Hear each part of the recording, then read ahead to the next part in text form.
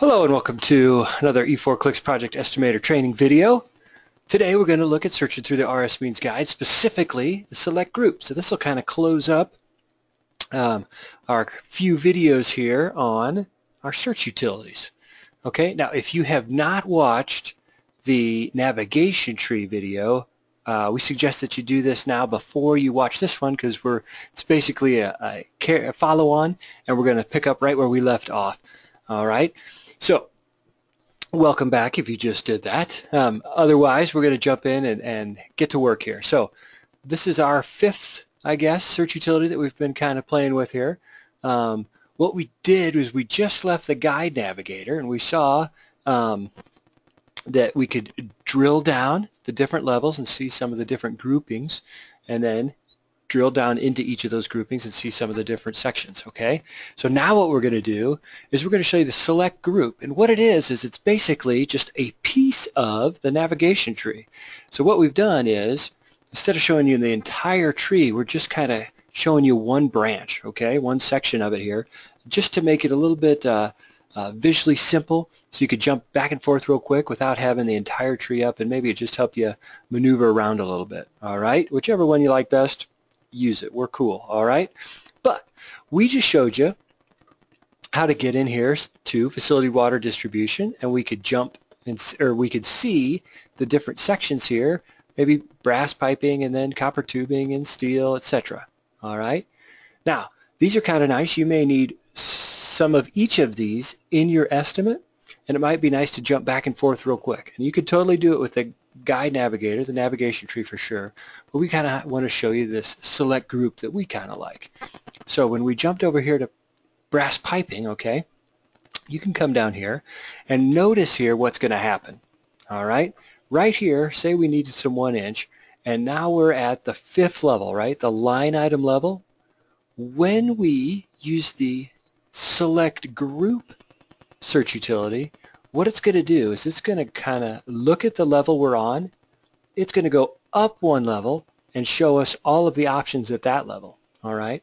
So basically, if we're down here, the one inch, it's going to show us our parent, our mom or our dad, and then all of our aunts and uncles. Okay, go up one generation.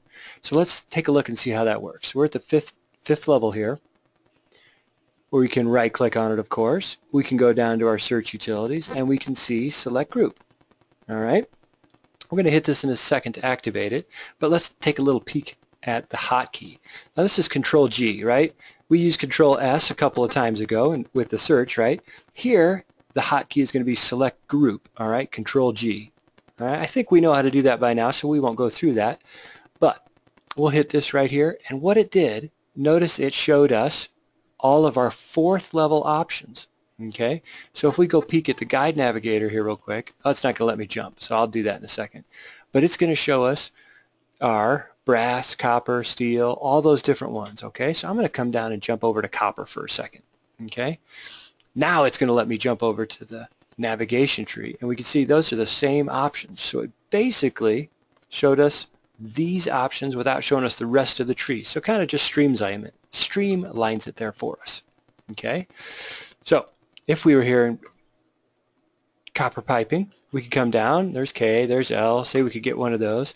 Now, let's use that hotkey, Control G, and that allow us to jump back up. And we have the same options because we jumped from the fifth level, so it's going to show us all of our fourth level options. We come down to steel piping, and boom. Okay. Now, what we can do here, now we're on the fourth level. Okay, if we called select group right now, activated that command, what's it going to do? That's right, it's going to show us all of our third level options. All right, so I'm going to go ahead and do that. I'm going to go ahead and use the toolbar icons because I haven't showed you that, right? So we've been working through index, then the favorites, the search, the navigation tree. Now here is our select group command, and it did what we thought we were highlighted on the fourth level, so it jumped up and showed us all of our third level options. Now if I wanted to go over to, say, domestic water pumps, we could jump over there. Or if I wanted to jump up one more level, we could jump up, and this is going to show us all of our second level options in the 22 there. Hopefully that's kind of making sense a little bit. So this allows you to jump around a little bit Um, basically, you're working through the navigation tree, but just a simpler version of it and just the stuff that you might be focused on or want to look at. Okay, so that was a nice little video, quick and dirty there, but hopefully that kind of gave you uh, another tool for your toolbox or arrow for your quiver there.